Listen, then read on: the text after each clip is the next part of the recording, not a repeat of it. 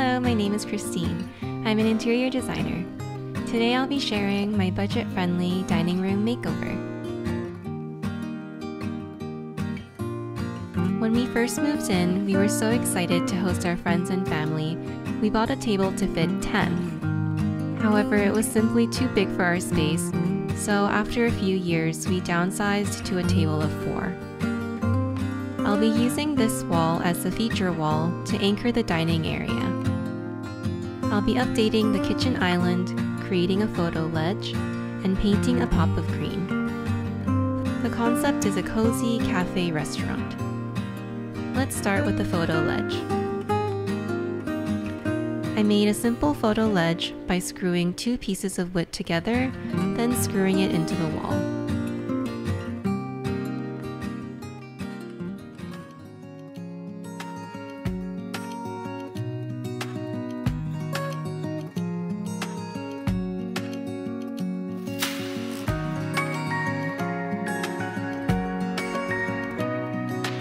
I installed an IKEA cabinet to maximize storage and clean up the backdrop to the dining area.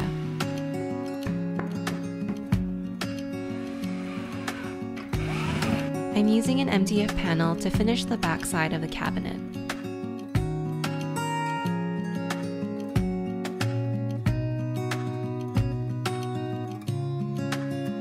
I used heavy-duty glue instead of nails.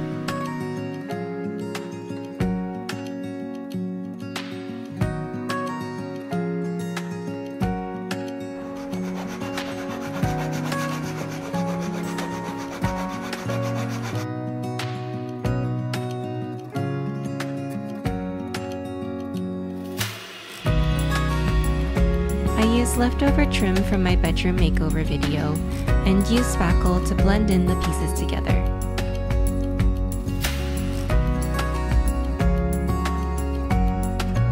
I know it looks a little rough, but trust me, it'll look better. Once it dried, I sanded it down to create a smooth, level surface.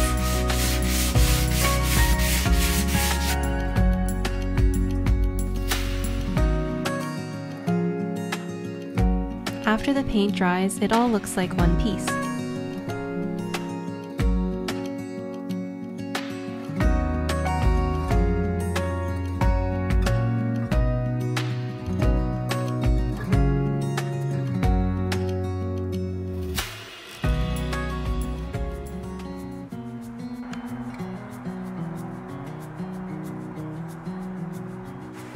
Next, wallpaper.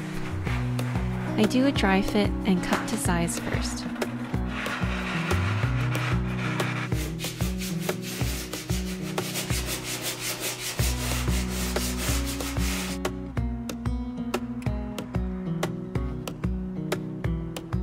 Use a clean brush to apply wallpaper adhesive and gently press on the paper.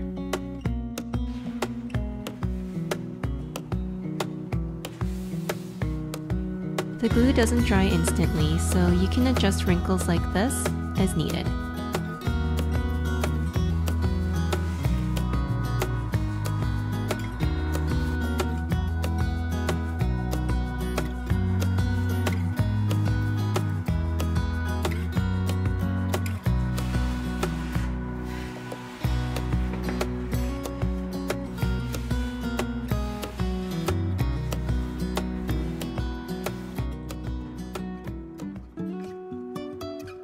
My new dining table is from IKEA. It seats 4 and can extend to seat 6.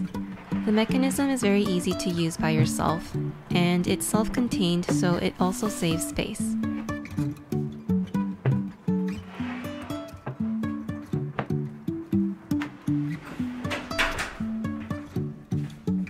The chairs are from Facebook Marketplace, $25 each, a great deal for solid wood chairs. The new seat cushions are from IKEA.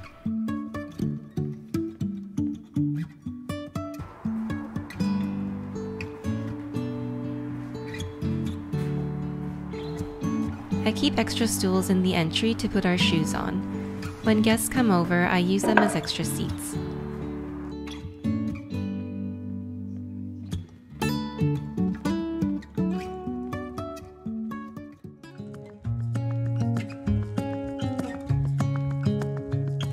Lot of debating, I decided to paint the bottom half Benjamin Moore's HC123. I like that it brings extra depth while still having a subtle quality to it.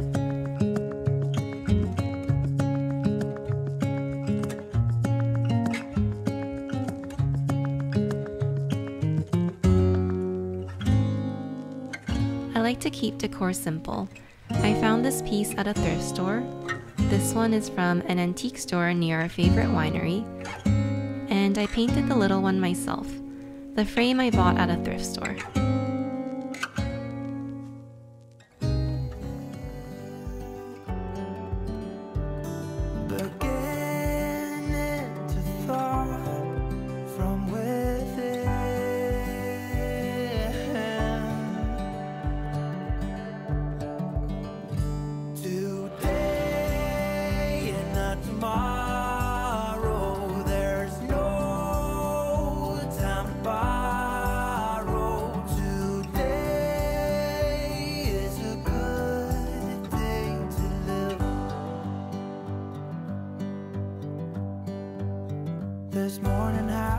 Clear a light as any to see the horizon in the far. In the evening, it's fun to have dinner and wine at home. Were two for a penny, Bottoms up. but they've all gone out. It feels like I'm dining out at a little hidden restaurant.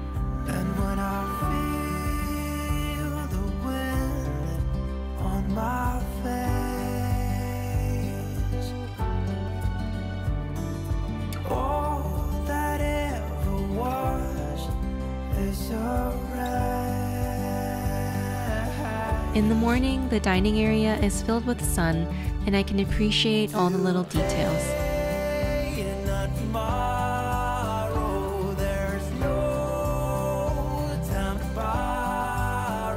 The space transforms to a local cafe where I can read and enjoy a quiet morning.